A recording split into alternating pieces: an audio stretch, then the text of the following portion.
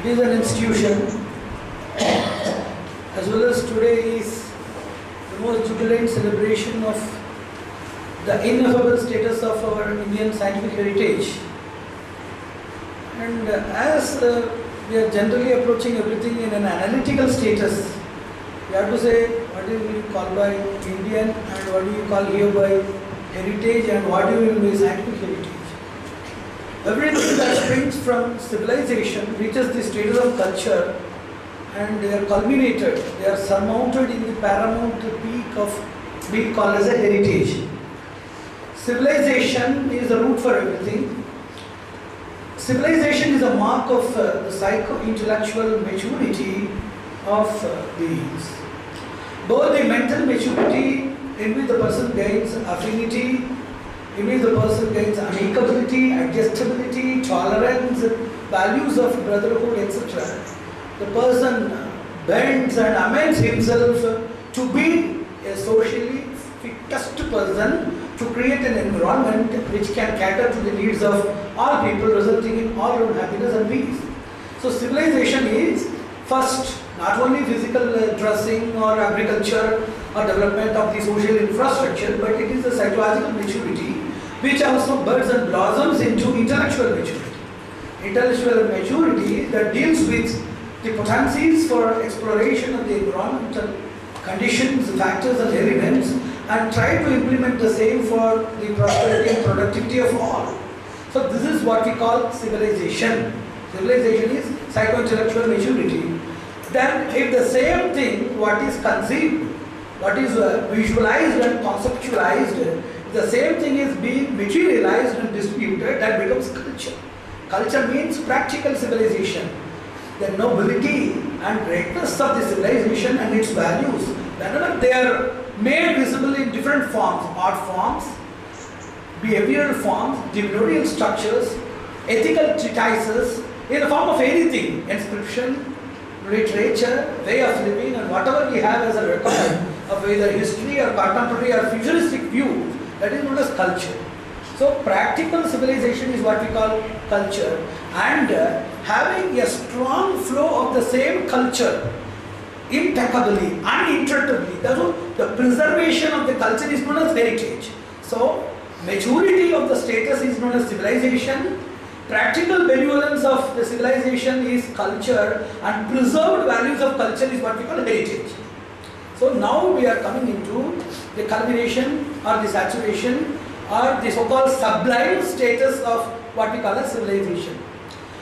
And uh, everybody assembled here, they are all admirers of our great Indian knowledge system, the scientific heritage. We are all very much uh, either chauvinistically or realistically attached to our own system and culture.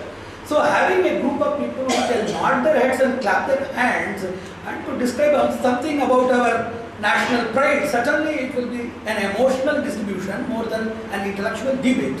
But still I want to see some of the flaws of these things and also the methodologies of rectification of those flaws so that the real heritage, the perennial value and the turbulent and torrential charge of the value of the heritage can be brought out for real productivity and enhancing the status of India in the global scenario.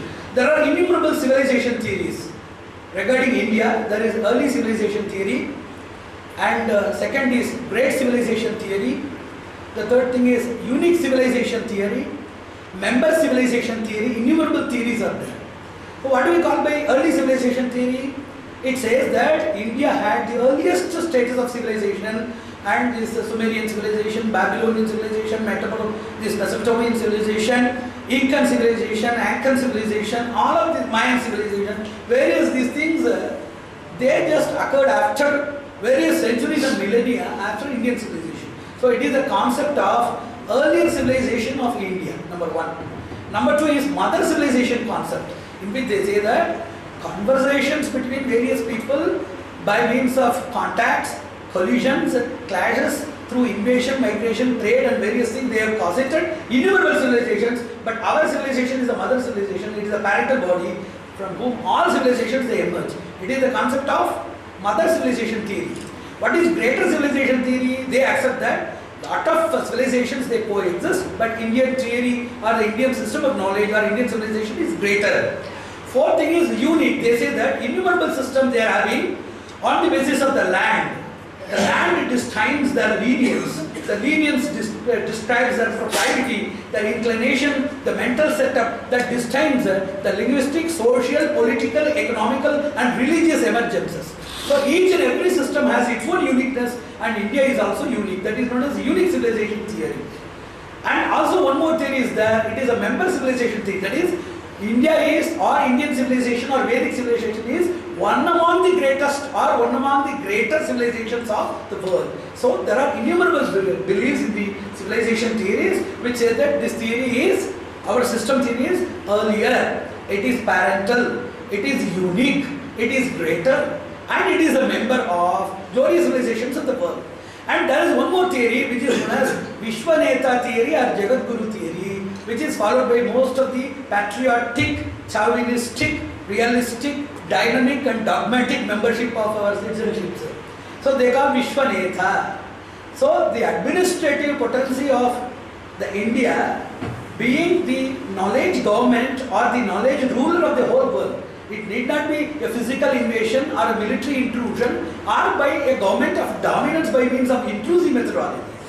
It is by means of a peaceful trade and by means of knowledge dissemination and spreading of culture. It is culture permeation through noblest means. So Vishwaneta and Jagat Guru, this is the status given by most of the people here. And uh, the problem is there is no repudiation in accepting these as Vishwaneta or Jagat Guru. I have to do that as more varying the things, more I am permeated into that and more propagating the same thing. I have to just endorse it more with more vehemence and velocity more than what people are doing. But certainly the tools that are taken and the proofs that are there meant in the platform for discussion and validation, they are very feeble and fragile tools. And what are the tools? There are innumerable theories which I want to state now. I can just give a list of few theories. One is continental disaster theory, second is cultural disaster theory, and third thing is theory of obsoleteness, fourth is the cryptics theory. These things are some of the theories which are meant for justification of things. What is continental disaster theory. Continents like Atlantis and Lemuria, they have been totally disastrously annihilated. So most of the treatises, if this system is perplenary and consummate, that is, it has everything. Whatever you have, what is consummate? Number one. It is the only thing that carries everything. Number one. Number two, even if somebody can carry something, that can be the reflection of what you are carrying. So we are the container as well as the distributor. So this is known as consummate theory. I possess, I am the wholesale stockist and distributor of universal civilization and ethical status and intellectual status. This is the thing. And for that we want lot of materials. And the materials that are available, even available materials are voluminous in treatises. Whatever and its glory in the form of heritage or something. One is, what are the personalities? Number two, what are the materials? that are available or being made. Number three, what is the linkage and lineage for approach, affordability, accessibility, application and accomplishment. So there are the three things which we have to first to take into account before getting into anything to be practically proved. so this type of continental clash or disaster says that most of the things uh, they have been taken away, they have collapsed in continental disaster. Number two, the justification is cultural disaster due to invasions, cultural fusion, due to neomania, due to negligence, due to various other reasons. Lot of the materials and personalities and the linkage and lineage that has been totally diluted or dilapidated. That is the second theory. And uh, why we are not having these things? And there is a new concept. It is European appropriation and German appropriation theory.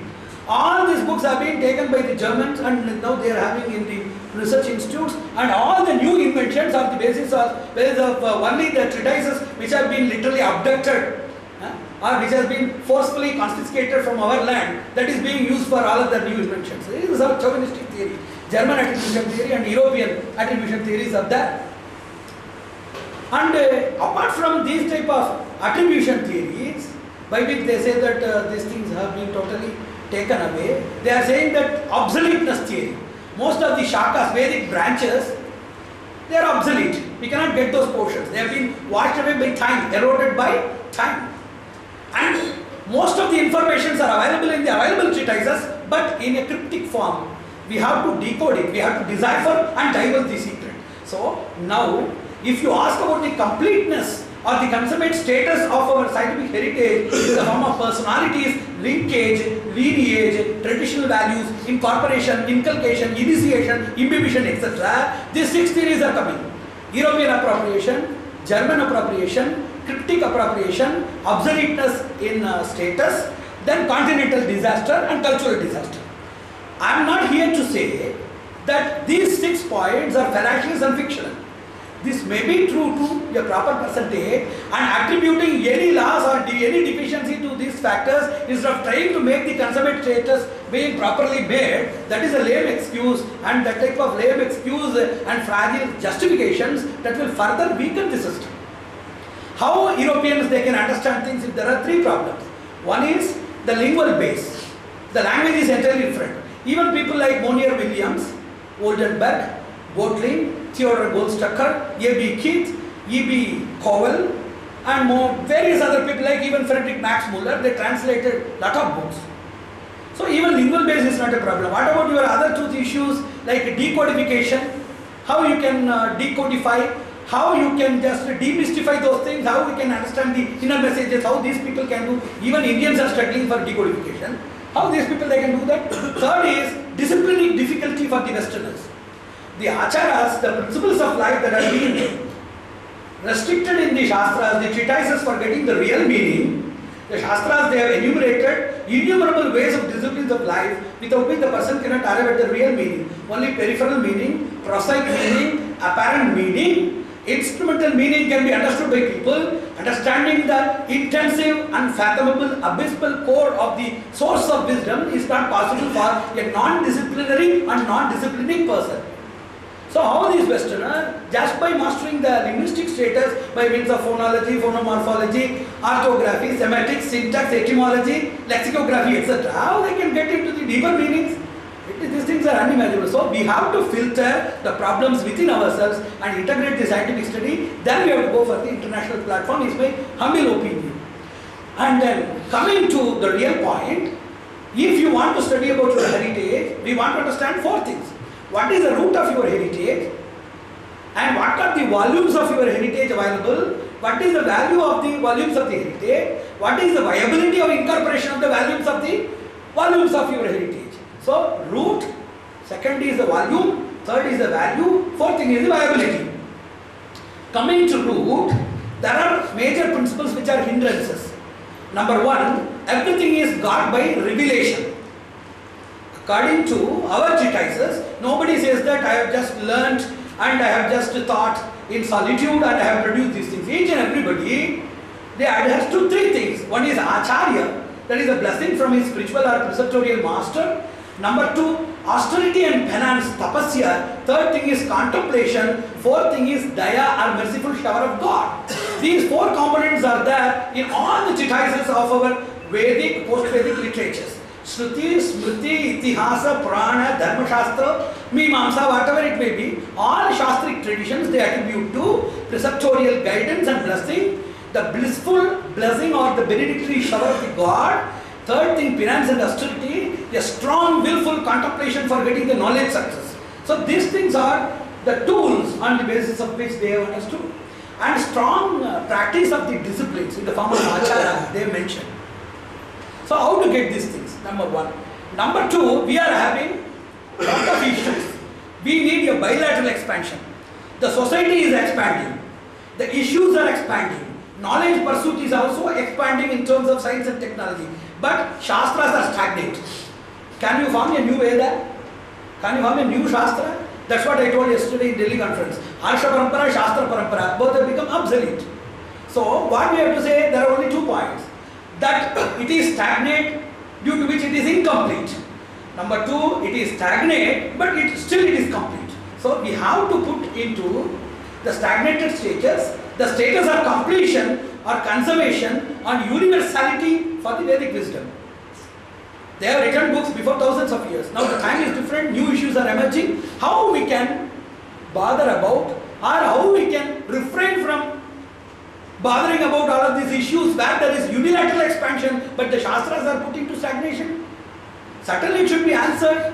There are four theories. One is completion theory, second is inspiration theory, third thing is manifestation theory, fourth thing is lead theory. What is complete theory? Complete theory says that the Shastras are complete. New things may come now, but these new things have their older basis. The Shastras they deal with the, the basic components and anything that has to occur, irrespective of place, time, or contextual situations, everything will be on the basis of the immutable system or the framework. For example, even if you get hundreds of diseases, they must be constituted within this uh, Pittavada and Sleshma. And whatever new particles that you invent, they must be within the five bhutas, the primordial elements. So, they give in this completion theory that in spite of the various expansions and elucidations and multidimensional manifestations of the society, still the formal base, the primordial structure of these uh, global components Certainly it is the same and it is immutable. So Vedas deals with the primordial status due to which whatever you may do newly, the new thing may be novelty in dimension manifestation but that will have a old grandfather base on the foundation of which these things are being erected and installed. That is completion theory. Second thing is inspiration theory. Shastras are not only information tools but they are also inspiration tools. They can give knowledge and they can give you, they can give you that urge, they can give you that power to go beyond the knowledge given in the book. That is the greatness of Shastras. Shastras, they can give you the knowledge within the book. They also supply you some sort of internal tools like cognitive drilling, deeper contemplation, multifaceted analysis, contemplative or cogitative vision, pensive subjection, all of these various experiences of the inner mind, these things come from the Shastras. So Shastras give you the materials, also give you additional tools for getting into other materials. That is inspiration source. Third thing is manifestation. The arithmetology or terminology, specialized terminology of the Shastras, the Shastras will have hundreds of meanings for the same term, which will emerge by three circumstances. One is contextual emergence, second thing is temporal emergence, third thing is dimensional emergence. For example, if you read the same book before 100 years, whatever that is suitable to that time, it will be revealed. After 100 years, on a different time frame, if it is taken and reanalyzed, it will reveal something that is contemporary. That is temporal suitability or temporal compatibility of Shastras. And number two, it is dimensional compatibility. In one dimension you are seeing the Shastra. If there is any urge for finding out some other dimension, that urge will facilitate you to understand that dimension. So the context, the time and the dimensions and depths based on the necessities, when the same Shastras are re-evaluated, they can be redefined, they can refine any circumstances. It is known as the manifestation theory of Shastras. Fourth is the lead theory. What is lead theory? The Shastras will give you some enthusiasm and you have to develop further books. If you are not developing, that is your mistake. Enthusiasm and you have to develop further books. If you are not developing, that is your mistake. Shastras can lead you to a particular stage. Lead theory says that if you are mature, see, we have seen lot of uh, young children or uh, some growing babes being carried by their older members. The elders of the family or the old men, they used to carry their siblings. And we are also in turn seeing that grown people, they are carrying their old people uh, with walking sticks to temple. Like that, the Shastras, they lead you to maturity and a mature person should preserve, nurture, nourish and develop Shastras, which nobody is doing at all. So, lead theory says that you have been made mature by the Shastras and in turn, as a token of your indebted gratitude and as a magnitude of your reverence, reference and deference towards those Shastras, it is your duty, it is your bounded, bonded, bondage duty that you have to take care that Shastras are preserved, reserved, subserved and nourished with more mature investigations and also in widening the framework of Shastras. That is known as lead theory. So I have given the meaning in the Shastra and you have to take more books by means of Vyakhyana, Bhashya, Sutra, Vritti, Anuvyakhyana, Akhyana, Aitihya, Pradarshana, Nidarshana, Pragamana, Gamana, Vivarana, Tika, Tippani. These things you have to enlarge the Shastras and make it reach the society. So this is known as the lead theory. So on the basis of these things, they are told that Shastras are alive and they are complete by four methodologies. Then coming to the second point, that is volume of Shastras. First is why we are celebrating the scientific heritage. Is it a practical machinery or a pride medallion? In most of the occasions, it is just a pride medallion. And there is nothing, see, before thousand years we were like that. That is just a memory, just as we are preserving our first anniversary dress. Lot of people are saying that they are preserving their first anniversary dress and their baby photos just for their reminiscences. It is just a reminiscent recall. Is it just a pride medallion? Just if it is a stagnant medallion or just a reminiscent recall, then that has no purpose at all and you can celebrate any number of times. Then it should go. There are three theories in civilization. First of all, we must understand cultural anthropology, social anthropology, civilization studies, ethnology, bioethnology, socio-ethnology and eco-ethnology, without which we cannot understand heritage at all. The same heritage we can prove more scientifically in a different session with lot of people in various other angles of perception. But this thing is very, very, very, very traditional. Certainly it should be traditional, but it is not novel, it is not deep, it is not dense, it is not directive. That is the problem. So here, this particular volume, innumerable treatises, instead of being just a prize medallion, that must be properly nurtured. How it is possible? There are three theories of civilization I told. One is a slope theory, second is a steadfast movement or a steady theory, and the third thing is a surpass theory. Lot of people, they started in higher civilizations. When all the people were roaming like nomads, when these people, they were having no shelter, no structure of living, these people, they were living in good art, architectural, infrastructural basis. But while starting like that, immediately they are coming to post-nomadic stage. That is known as slope of civilizations, in which we started earlier. It is just like the story of the sleeping uh, rabbit and the moving tortoise. So we have started before thousands of years, but the rate of growth, can we find out the rate of growth and the present status? It is very difficult. So we are in the slope of civilization status, number one. Number two, there are a lot of steadfast civilizations, like German civilization and Greek civilization, they are steadfast. And surpassing civilizations, the Western community, most of the people, they were nomadic and nude. They know only nomadism and nudity. Now those people are in a position to teach all of us. They are in the surpass uh, graphics. So, in the graph of slope, steady and surpass levels, we are in a slope level and we have to reinstall our status. So, civilization, talking about something which happened before thousands of years, for which there is no rate of growth, for which there is no rate of gravity, for which there is no rate of permeation, certainly it is a pride medallion and it is not a proper machinery for development of our culture. Number two, we must certainly do something that is known as comparative evaluation chart. Comparative structure evaluation chart. I am saying one, thing, somebody can do that task and then they will see how far they have been just uh, taken away by Chauvinism. I, by means of a dogmatic principle of just attachment towards one's own culture. You have to understand how to prepare a comparative chart. There are three levels of sciences. One thing is pure sciences, second thing is social sciences, third thing is known as subtle sciences. We used to call it as salient sciences. First thing is known as salient sciences. The second grade is known as social sciences or shrewd sciences. Third thing is known as subtle sciences. Uh, let us just come to the normal sciences which we call, which are known as salient sciences. Number one, mathematics, then logics, geology, geometry, then botany, zoology, medical sciences, marine engineering, aeronautical engineering, civil engineering, space exploration, all of these things are just salient sciences, developing sciences which we are seeing now. You prepare a table, you cull out all informations uh, from the treatises available in the Shastras and you also evaluate the stage of growth of modern science in various universities and various research institutes and you can see how far we are and how far they are. It is an evaluation chart. And number two are social sciences. Number one, psychology, political philosophy, economics, sociology, sociography, demography, all of these things are social sciences. Third thing, occult sciences or the subtle sciences. Subtle sciences the Western world cannot understand at all. Huh? Eschatology, metaphysics, aritology, thaumatology, cosmology. Cosmology they are doing, but it is theocosmology, theocosmogoly. epistemology, all of these various sciences are subtle so that they are not reached at all.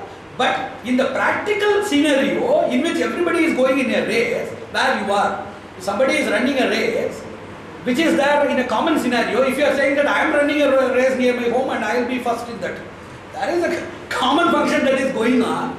And if you can say that in my house I can run a race and I will be first, that is entirely different.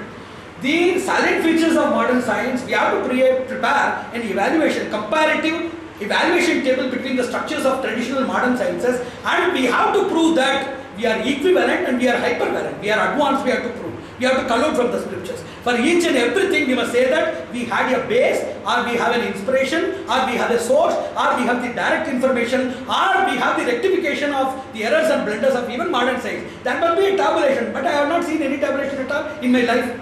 Hundreds of uh, uh, such invitations I have got and hundreds of informations we have delivered and hundreds of conferences we have attended and organized. Certainly if somebody is there with us, if there is a project of multiversity, certainly we can sit and do. Where we are earlier predictors, where we are equivalent predictors, where we are forerunners for everybody, where we are in advance in other these people, unless there is an evaluation chart and saying that we have, uh, earlierly we have mentioned about eclipse, we know that uh, the theory is heliocentric and earth is rotating, sun is there. How long, how many years will be saying the same thing? Whereas in heliography and uh, helioelectronics and uh, helionic sciences, how far they have been advancing. So these advancements, either you must have a base, otherwise you must have the information. Third thing, otherwise you must prove what they are doing or you must do something which they have failed to do and which they are struggling to do. Unless we are having any theoretical or practical demonstration, it is a group organization in which all of the people, the nationalists, they can console themselves by clapping the hands and shedding tears. To practically bring this thing, we need an evaluation table and I am not joking at all. This evaluation table is very much essential. There are three stagnations. One is the system stagnation, second is status stagnation, and third thing is the research stagnation. Lot of treatises are there which are stagnated, which have not reached the public at all, number one. Number two, lot of systems they have reached like Bhagavad Gita, but the status has not uh, reached the society. How many people are having Bhagavad Gita? If you see Gorakhpur Press, uh, they mentioned it is the 36th edition, 2 lakhs copies. But what is the status of Bhagavad Gita? 2 lakh people have they practiced Bhagavad Gita? The status which is not there. Number three, some status is there in some science in which they are doing by Vijnana Bharati. What is further research? So research is stagnate, systems are stagnate, and the systems uh, are not even stagnate, but their status is stagnate in society. These three stagnations must be overruled by real research by Vijnana Bharati and India International Multiversity, which has taken the oath and which has taken also the uh, sanctified baths uh, to be more committed upon such achievements. Certainly it should be taken as a lifetime project, it is not a part-time job. They should take it like that. Number one, I have already defined heritage. What is the viability of heritage? There is a wonderful definition for heritage in Shastras. It must be noted, it is very exhaustive. Heritage is the continuous and ever increasing flow and permeation of order. It is ever increasing and continuous flow and permeation of the systems of order with adaptability and productivity. You must not bring novelty from somewhere else. Do you follow that?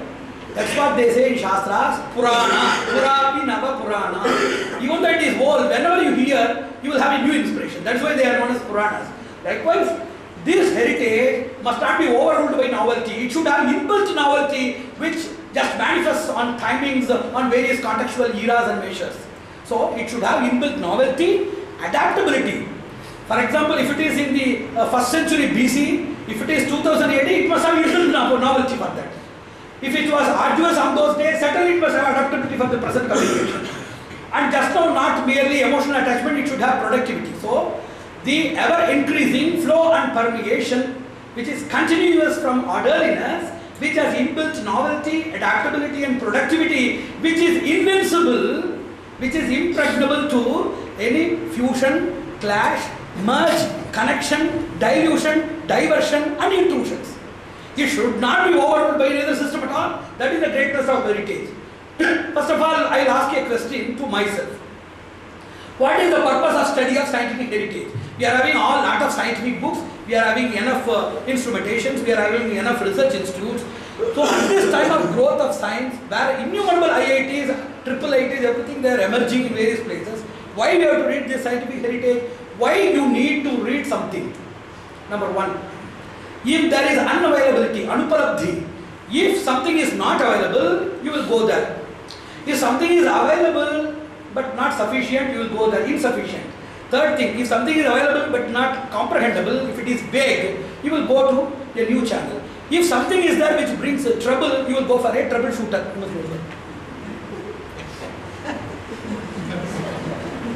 Because we are all practical people. I am expecting Bhatkar to do all of these things. Other people I don't know. So first thing is unavailability. Second thing is insufficiency.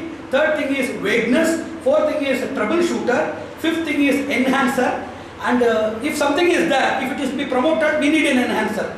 If something is there without any base to understand the foundation, ontology, we have to go to our science, that is foundation.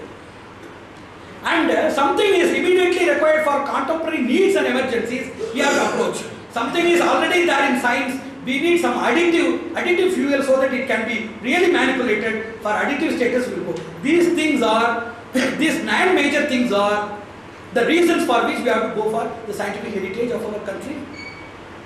But there are also problems. I have already told there are codes. We have to decode these things. That is a problem. And number two, arithmetology. That is the special paribhashas of the Shastras are not understandable. If something is brought in, something is there, immediately you say that the paribhasha means that. For example, if there is go, the word go, it has 50 meanings. And how you can apply a proper meaning contextually and get these things, arithmetology. And third thing is language. We must know the language of Sanskrit. Everything is in Sanskrit. We must know Sanskrit. And number fourth, esotericism. Even if you know everything, you must go for a private way of education that is known as Rahasya Parampara. And you cannot just understand these things. That is esotericism. Number five, exercises. You have to do a lot of exercises. You cannot just simply wear a pant and shirt and go and read like history and geography or even conventional sciences. And mystification. Whatever you see now as a concept is attached to a mantra, to a guru, to a devata, to a way of worship. So everything in the Shastras, even chemistry is attached to deities. Biology is attached to deities. If you see herbs, we see only herbs. Cineraria maritima, hibiscus rosa sinensis, ocimum sativum. So if you see only those things, but Shastra says that there are devatas, abhimani devatas. So everything is mystified here. It creates four major confusions. Ah, that is known as theotechnical combat. What is it? Theotechnical combat. The combat between the religious portion of sciences and scientific portions of the religious scriptures. So first they say that there are two principles. One, they say that the religious people, in order to consolidate the religious standards, they have imparted or imparted this technical status inside so that they will come to religion and religion will be solidified. The first accusation is they say that the religious people they have mystified even modern sciences or normal sciences due to which religion will be consolidated. So it is a tool or missile that is applied by the religious people due to which they have mystified the sciences so that religion will develop. Number two, the accusation of technical people in which they say that these technical people they have incorporated their personal beliefs and worships in the Shastras to make it sound more obscure. So these two things are the major accusations which has resulted in two theories. Two theories of emphasis. One is the esoteric or ecclesiastic emphasis. First thing is esoteric emphasis or ecclesiastic emphasis. Second thing is practical emphasis or pragmatic emphasis. The ecclesiastic emphasis people they say that even if you do in a lab with all the tools and all the prescriptions that have been mentioned, you cannot get the result unless you do the worship. your worship and your methodology of operation in the spiritual dimension is a must. Without understanding the deity or without worshipping or without chanting the mantra, if, you do the same thing, you can't get the benefit. It is known as esoteric emphasis. And the second thing is very simple, pragmatic emphasis. You throw all of the religious portions. Don't follow anything at all. Just get the science out of it and do that. That is pragmatic emphasis. Now I am going to ask a question to all of the people here, also to Vijnana Bharati, which school they belong to. It is a very greater issue here. And it has resulted also in the dimension of theotechnical evolution in three sciences. One is theosystemics, second is theosemiotics, and third thing is in your disciplinings. One deals with the concepts of religion, second deals with the symbols of religion, third thing deals with the practices of religion. Do you want people, for example, somebody comes to science, traditional scientific heritage like Rasavada, alchemy. Is it a must that they should have the belief? Is it also an additive that they should know the concepts? Is it also an additive that they have to have the symbols, apparent and peripheral symbols? Peripheral symbols are there outside the body, apparent symbols are there inside the body, just as we have been very that. And disciplines are the practices. What is the role? If they don't have any role at all, just a placebo effect, why our future people, they have to do that? And we are being cheated. If you accept that, how many people in the modern society is ready to have a conglomeration of traditional values in concepts, beliefs, symbols and practices? This is a major issue in scientific heritage, whether it is separable from religious, contemplative, uh, contemplative and occultistic practice or not. That is a very, very basic principle. Now, this, this thing I left to a lot of people for discussion. I will leave this also here. We will discuss in a higher platform. Coming to the concluding session, we need three things in the civilization, just as Arnold Toynbee. He has told there is genesis of civilization, there is growth of civilization, breakdown and disintegrity of civilization. Civilization has three steps. One is emergence, second is insurgence, third is resurgence. Now we are at the resurgence area. So this resurgence, what we are going to do? Point number one, what is the role of personal belief in scientific development? Because lot of people are there, if you take just belief, now there is an Islamic Federation of Scientific Community. Our, we are having Christians uh, scientific community in which more than 40,000 people, in which Catholic Christian scientific communities are there, Pentecostal is there, innumerable scientists are members. They attribute their scientific products to their religious beliefs. And non-believers are there like uh, C.N.R. Rao, Ingersoll, Bertrand Russell, they are non-believers. So, if you attribute this thing to our scientific congruity, then there are different believers, diversified believers, distinct believers, diluted believers, dynamic believers, and dangerous believers like uh, the so-called people who are extremists, they are all very dangerous believers. And we have non-believers and skeptics in the scientific community. We have to tackle this issue, number one. Number two, East and West. There are four theories in East and West. I will finish in five minutes. There are four theories in East and West. One is mutual benefit theory. Second is destinal dimension theory. And third thing is uh, cyclic exchange theory. Fourth thing is the resurgence theory. And they say that we have to give our religion, knowledge and comfort of philosophy to the West. And they have to give this thing. That is known as mutual exchange or mutual benefit theory. Destinal dimension theory is whatever we do in science, we are more framed for religious philosophical development and they are more for materialism. Because of the nature of the place where we live. Our fundamental, we may just, in superstructure, we may do anything. Space science research, you can go to even exobiotic researchers for finding out uh, life species in Mars and Jupiter. But still your foundation is basically spiritualistic. And whatever they may do with ISKCON or art of living or anything else, their basis is materialistic. It is known as destinal determination theory or destinal uh, establishment theory. And fourth, uh, the third theory is uh, cyclic exchange theory. In sometimes, whenever we grow, theory is cyclic exchange theory. In sometimes, whenever we grow, in the cycle we exchange development of spiritualism with them and at one situation in the cycle they will get spiritual benefit. So likewise we are developing in science, there will be one day as per this cyclic exchange phenomenon, now we are developing in science in par excellence with the other countries, one day we will be taught by the westerners in spiritualism. So the cyclic exchange theory it says that one day they will say, also just this, it is a type of inference. And the fourth theory is resurgence. Each and every theory or each and every system, global system consists of two eyes. One for their enhancement or empowerment, second is for their emancipation, total liberation. So when something is lower, we have to make the resurgence. Now we are lower in the spiritual status. We are very great only in the form of treatises which are in raw materials. In practical work we are not there. So we have to get into resurgence. These are the various theories. Number three, a lot of people they have predicted that the West will fall. Dr. Oswald Spengler, he has written a book uh, known as Decline of the West. Likewise, Emmanuel Todd, he has written a book after the empire breakdown of the American order. Even Arnold Toynbee, he has uh, predicted about the clash of civilizations. And Mohammad Khatami, the former Iranian president, he has written a book how to bring dialogue between civilizations and to prevent the clash. So likewise, most of the people they predict the collapse of the Soviet Union, which happened, and also they predict about the West at all. So totally for resources, both knowledge resources, material resources, we have to come. For that, uh, before saving other countries, we have to save our land from our own inbuilt uh, problems. So we are having lot of internal diseases, external missiles we can handle. We are having a lot of, we know that uh, diseases are within our body and medicine is somewhere available outside. But we have both the diseases and medicines inside. Whatever we are having in the innermost resources, that is the medicine. Whatever we are having in the inner resources, that is the disease and we have to save ourselves for that. Number four, Edmund Burke, he has given a very great uh, ideology.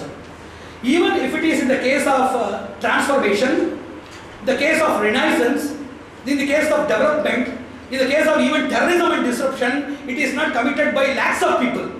Renaissance or freedom struggle, how many lakhs of people participated? Only a small group of committed people, even in patriotic struggle, a group of committed people, 100, 200 people, they participated and a lot of people supported. If somebody can move in the front, there are a lot of thousands of people to follow. They are not ready to go in the front. If somebody can form 10 rows, from the 11th row, there are innumerable flocks of sheep which are awaiting for some comfort and barricade so that they can enter inside.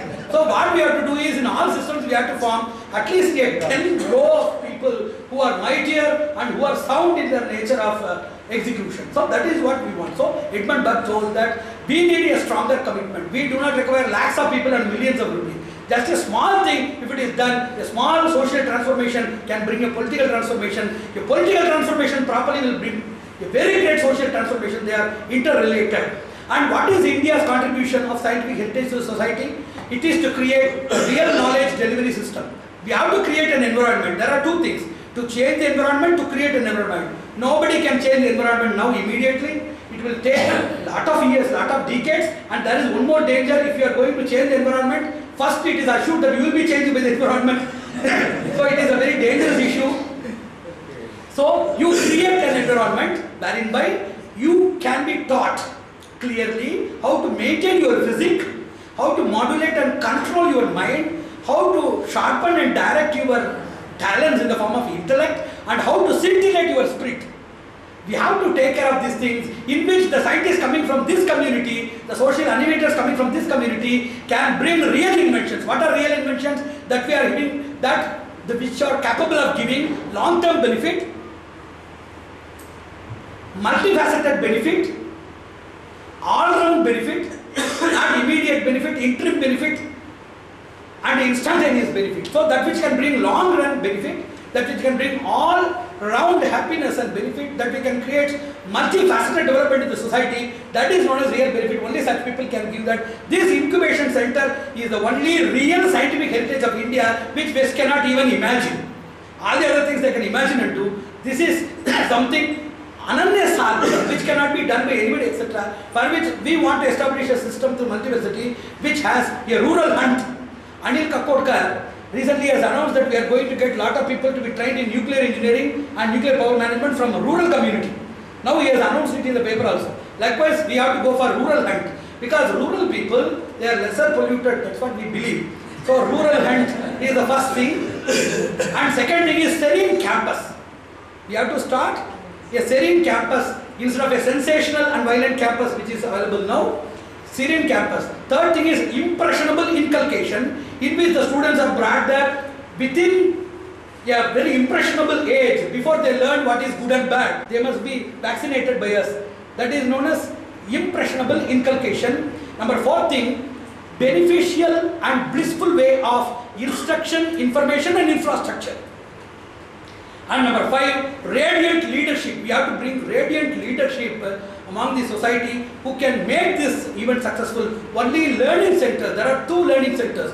One is the domestic learning center and second is the academic learning center. Unless we create a lineage, we have to make a parampara. We cannot make people, making people cannot bring any benefit at all immediately. We have to make a parampara. If we can start now the process of inculcation and purification of the society after four or five generations because loss or the depreciation of the society was gradual and it happened over generations. So the benefit should also be brought over generations. Let us start together. That is the value of scientific heritage. And on various issues I have raised, certainly scientific heritage society as well as Vigyan Bharati and Multiversity should take, we must take issues of controversy If we are taking all comfortable issues, we cannot withstand in the global platform, rationalistic platform and scientific community. We can just get ourselves adorned and applauded by like-minded people and nodders. So we want to go in a higher platform for which we have to take the controversial things, incongruities, incompatibilities, all of these things if they are rationally approached and scientifically, uh, disciplinically, if it is deliberated between the scientific community as well as the traditional spiritual community, that is the real bridging of the science with modern science, traditional science with modern science and we have to take these issues for a detailed discussion and I hope that that will be the continuity of today's uh, what we call the scintillation today's spark that we have instilled inside you by this Congress, that should be a blazing fire, that should not be extinguished by your domestic diversions and by your financial affairs. It should be more made pleasant, radiant and brilliant by means of further communications with us. I hope that such a detailed seminar will be conducted soon. Narayana, Narayana.